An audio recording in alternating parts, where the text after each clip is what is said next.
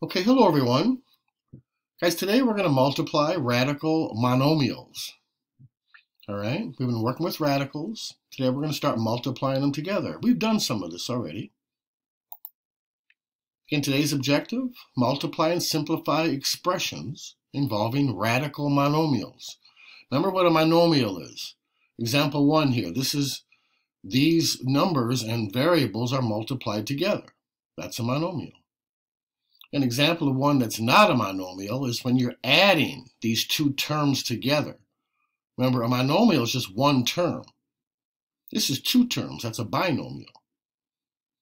Okay, example three, this is a monomial right here. This is just a number two-thirds. Right, but example four, this is not a monomial where you have the variable in the denominator, okay? Today's essential question, how do we multiply radical monomials? Again, guys, for this lesson, we're just going to deal with square roots. All right, where a square root, again, has an index of 2. And again, when you see the radical symbol without an index, you know, explicitly written in there, it is understood to have an index of 2. It's implied to be a square root. This is the basic rule about multiplying radical expressions. And y'all, we've looked at this before. Again, I'm multiplying two numbers here. They're both radicals. They have different radicands. And the radicand is the thing that's inside the house or inside the square root sign. You can just multiply them together inside the, the same radical sign underneath the same square root sign. You can do that. Again, the radicand is the term inside the square root. We can multiply them together. But sometimes there are numbers outside of the radical. So we change the formula a, a little bit.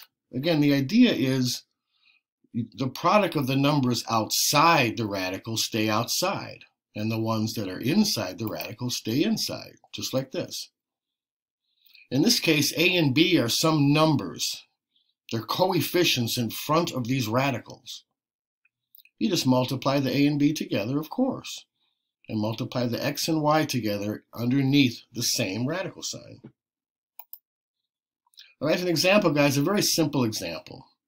I'm multiplying the square root of 4 times the square root of 4. Well, guys, that's 4, okay? You can look through that and see why, but I just want you to understand the square root of 4 times the square root of 4, that equals 4. Got another example, the square root of 3 times the square root of 27. we multiply these together, 3 times 27, we get 81. The square root of 81 is 9. Okay, so it's pretty easy to simplify it. We're also going to cover, guys, a monomial times a binomial, where you distribute. All right?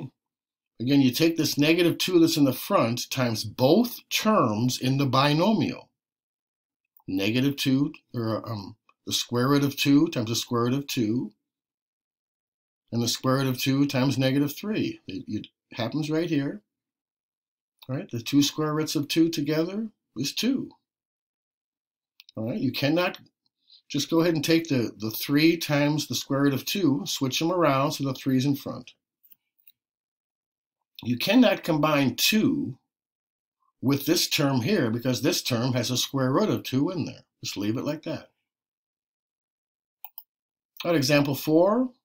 Again, a little harder here because these have um, coefficients in front of each radical. But it's similar, you guys, all right? You multiply the outside numbers together. So negative 3 times the 5. All right, then negative 3 times the 4 right here and you multiply the numbers inside together. So 12 times 3 inside the radical, 12 times 6 inside the, the radical for the second term. This is a very long, detailed showing how this problem is done. Again, the negative 15 ends up in front. And 12 times 3 is 36. So this is the square root of 36. That's just 6. Now back here, this is we're subtracting negative 3 times 4, so this ends up being a positive 12 right here, positive 12. And 12 times 6 is 72. Well, 72 is 36 times 2, and 36 is a perfect square, so I can take 36 outside, it becomes 6. There's already a 12 out here, so 12 times 6 is 72, and this is our answer right here. All right, you can take a look at that. Guys, this is a much simpler example. Again, I'm multiplying this monomial out front here times these two terms times this binomial. So I take the negative 2 times negative 5, and I get the 10 right here. All right, the, the square root of 7 just comes along right there. Then I take the negative 2 times negative 3, and I get 6. And 7 times 7 is 49, and that goes underneath the radical sign. And we know the square root of 49 is 7. So the, this last term just becomes 6 times 7, that's 42. All right, guys, that's it. Please, uh, the homework check, we'll do it in class, guys, and we'll watch this video in class too. All right, thanks just for listening.